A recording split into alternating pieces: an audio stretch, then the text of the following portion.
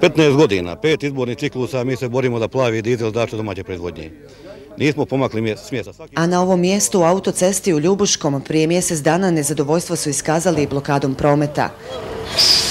Pod ko zna koji put bez drugog izbora bili su hercegovački proizvođači.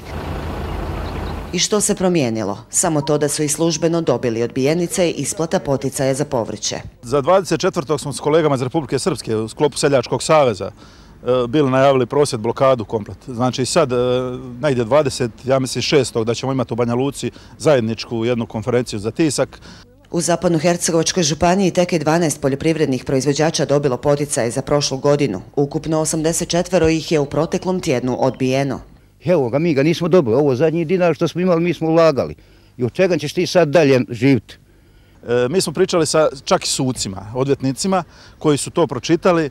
Znači, e, zapisnike dva službenika da je posađeno, e, e račun od sjemena i otkupne blokove, koje smo mi trebali dostaviti, mi smo to sve dostavili.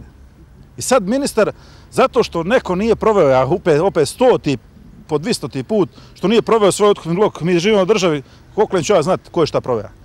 Ostale predmete i dalje razmatra Federalno ministarstvo poljoprivrede. Vukojević ističe svjetla je točka što su barem počeli razgovori o uvođenju plavog dizela. Do kraja ovog mjeseca očekuje odluku vijeća ministara. U suprotnom, ovakav scenarij mogao bi se ponoviti, ali još brojniji.